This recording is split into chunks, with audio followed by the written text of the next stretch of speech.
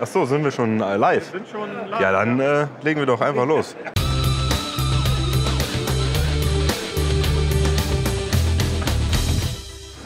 Hi, ich bin Sascha und ich zeige euch heute Solid Parametrik. Ich habe mir gedacht, wir konstruieren einfach mal eine kleine Wartungsbühne und das schauen wir uns jetzt an. So, zu Beginn starten wir unsere Profilfunktion, um neue benötigte Profile zu konstruieren. Als erstes fangen wir hier mit den U-Profilen an. Zusätzlich benutze ich die Offsets, um die entsprechend korrekte Position einzustellen. In diesem Fall will ich auch das Profil auf der einen Seite immer ein Stück verlängert haben. Danach kann ich das Profil einfach so platzieren. Auf der anderen Seite wiederholen wir das Ganze mit dem zweiten U-Profil. Jetzt kommen die Rechteckrohre an die Reihe, die wir zur Verstrebung benutzen.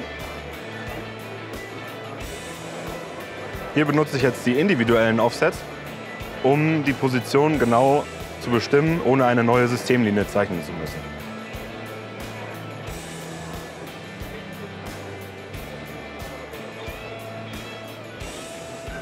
Für die Stützen nehme ich auch wieder Rechteckrohre, diesmal aber eine andere Größe.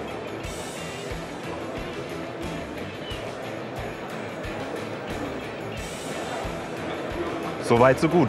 Als nächstes kommen wir zu den Verbindungen. Hier wollen wir uns die ganze Sache verbinden, indem wir Kopfplatten benutzen. Wir starten am Fuß der Rechteckrohre mit den Fußplatten. Hierzu müssen wir einfach nur das entsprechende Profil auswählen. Dann kriegen wir unsere Vorschau. Wir können die Offset-Richtung ändern und dazu eine Platte aus unserer selbstlernenden Datenbank auswählen. Diese habe ich vorab schon vorbereitet.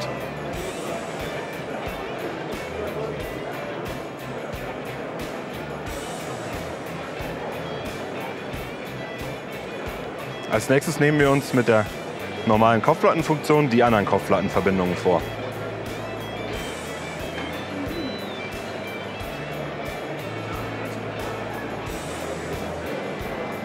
Wie zuvor auch nehmen wir hier auch wieder die Kopfplatten aus unserer selbstlernenden Datenbank.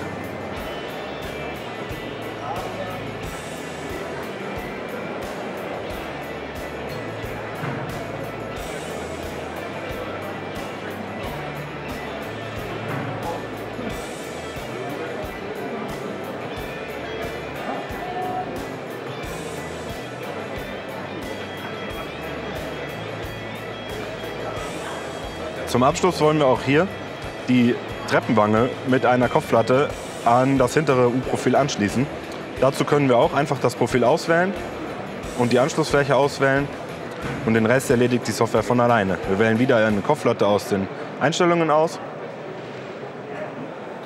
bestätigen das Ganze und zack hat auch die Software hier das Profil automatisch bis zum gewollten Punkt verlängert. Soweit so gut, das ging schon mal ziemlich schnell. Um das zu kurze Geländer brauchen wir uns keine Gedanken zu machen. Das übernimmt die Solid Steel Update Funktion vollautomatisch für uns. Schauen wir uns das mal an.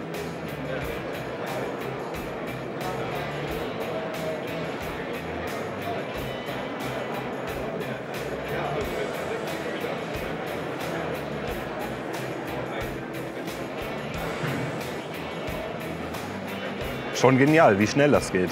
Als nächstes widmen wir uns auf der anderen Seite dem nächsten Treppenabschnitt. Dazu benutzen wir unsere Treppenfunktion.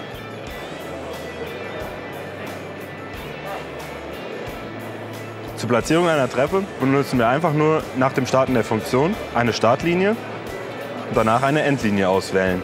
Und schon erzeugt die Software zwischen diesen beiden Linien eine direkte Verbindung und eine Vorschau für unsere Treppe. Die Profile und die Treppen sind schon vorausgewählt. Das heißt, ich kann jetzt die genauere Konfiguration starten. Und hier müssen wir jetzt nur uns um unsere Erweiterungen kümmern. An der Oberseite benutz, äh, be, benötigen wir eine horizontale Erweiterung mit der Länge von 1,5 Meter. Und an der Unterseite brauchen wir eine vertikale Verbindung mit der Länge von 200 mm. Im Abschnitt für die Treppenstufen können wir jetzt an der Unterseite noch eine zusätzliche Stufe einfügen, um die Lücke zu schließen bis zum Fußboden. Danach bestätigen wir das und schauen der Software zu beim Erstellen der Treppe.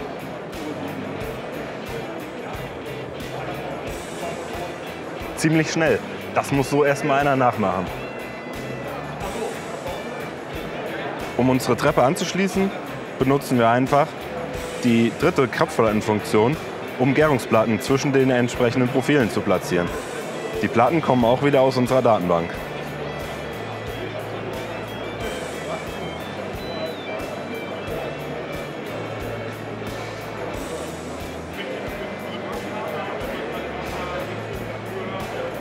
Wenn wir jetzt schon mal in der Ecke sind, sehen wir, wir brauchen noch einen Gärungsschnitt zwischen unseren Profilen, die sich in der Ecke treffen.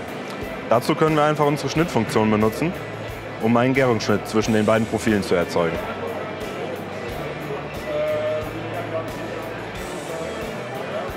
Das geht fix. Als nächstes müssen wir uns darum kümmern, dass unser Gärungsprofil mit zu unserer passenden Schweißbaugruppe kommt. Dazu benutzen wir die Funktion Schweißbaugruppen und können hier zu einer existierenden Schweißbaugruppe über die passende Auswahl die anderen Teile hinzufügen. So haben wir mit wenigen Klicks unsere Baugruppe umstrukturiert. So, als nächstes fügen wir unserer Baugruppe auf der linken Seite Geländer hinzu. Dafür nutzen wir unsere Funktion individuelle Geländer.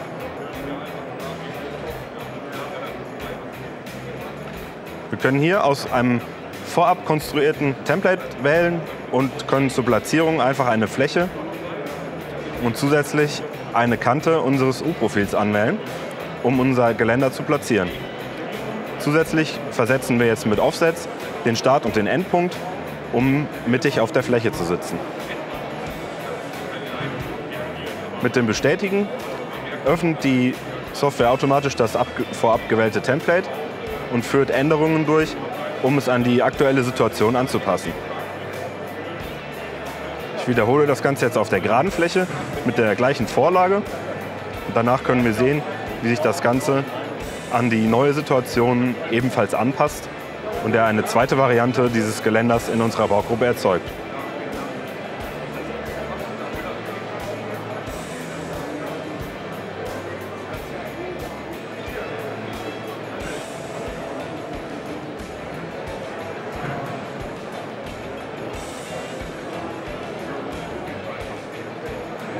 Wie wir gesehen haben, können wir mit der Geländerfunktion jede Menge Arbeit sparen. Wir müssen nur einmal eine Geländerbaugruppe konstruieren und können diese beliebig oft in verschiedenen Situationen wiederverwenden. Als nächstes schließen wir unsere Geländerbaugruppen an unsere bestehende Konstruktion an. Dazu benutzen wir einfach wieder die Kopfplattenfunktion. Die habt ihr vorher schon gesehen, daher machen wir das Ganze hier im Schnelldurchlauf.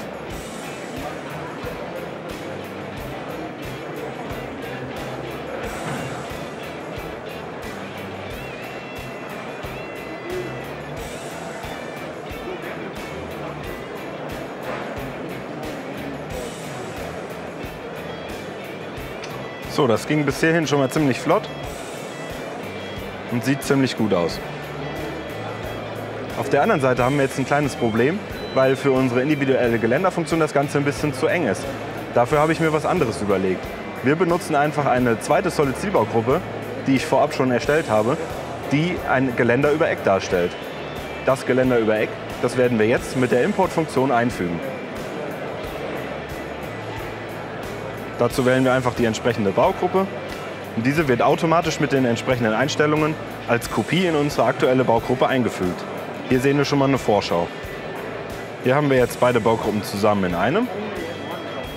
Und als nächstes müssen wir uns um die Positionierung kümmern.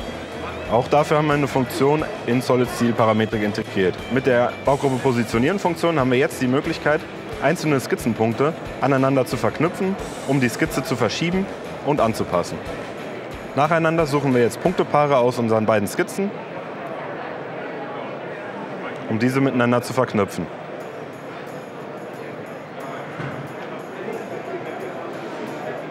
Nachdem wir das Ganze bestätigen, macht die Software den Rest. Wie wir sehen, hat sich jetzt die Skizze automatisch angepasst. Und als nächstes haben wir wieder einen Job für unsere Update-Funktion.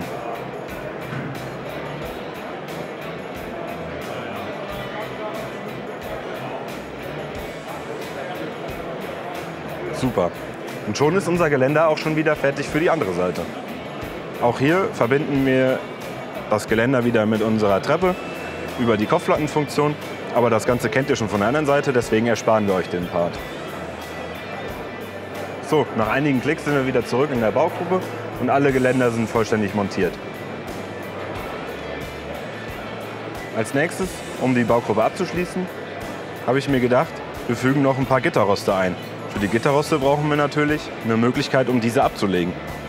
Dazu fügen wir in der Baugruppe noch ein paar L-Profile ein. Wie wir sehen, ist es auch möglich, an Linien, wo bereits ein Profil platziert ist, noch weitere Profile anzufügen. Deswegen können wir hier einfach das L-Profil zusätzlich zu dem U-Profil platzieren, mit entsprechenden Offsets an die richtige Stelle rücken.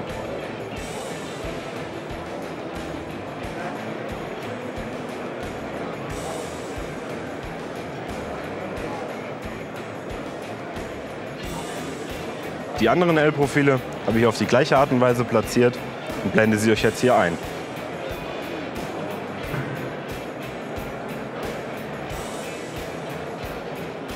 Und danach können wir direkt einfach unsere Gitter hinzufügen.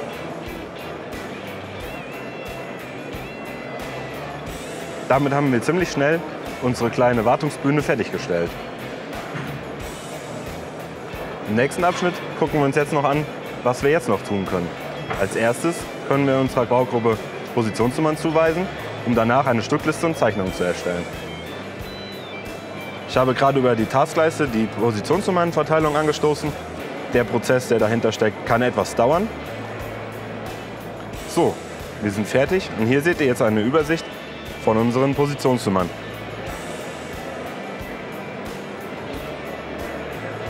Direkt im Anschluss können wir jetzt über die Exportfunktion eine Excel-Stückliste erstellen.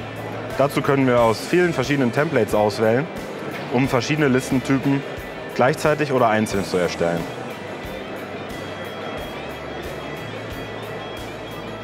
So, schauen wir uns die Stückliste einfach mal an. Ich habe eine Vorlage genommen, die verschiedene Listentypen gleichzeitig erstellt.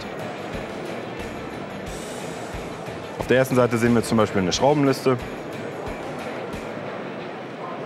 auch möglich eine Sägeliste. Hier sehen wir schön die verschiedenen Schnittwinkel unserer Treppenwangen.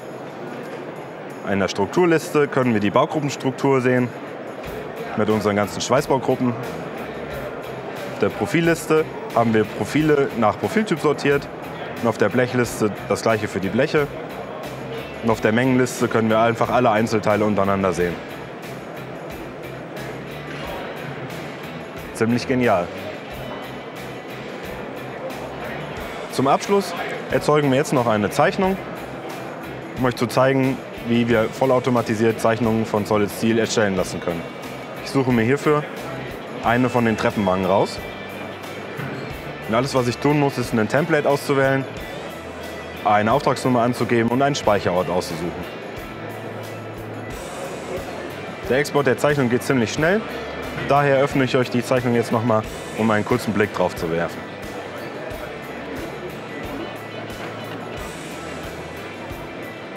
Wie wir sehen können, sind alle Maße, die wir zur Fertigung des Teils benötigen, automatisch eingefügt worden. Weitere Informationen können wir natürlich nach Belieben ergänzen. Das war unsere kurze Demo zu Solid Parametrik. Ich hoffe, es hat euch gefallen. Wenn ihr mehr Informationen haben wollt, schaut gerne auf unserer Homepage vorbei. Bis zum nächsten Mal.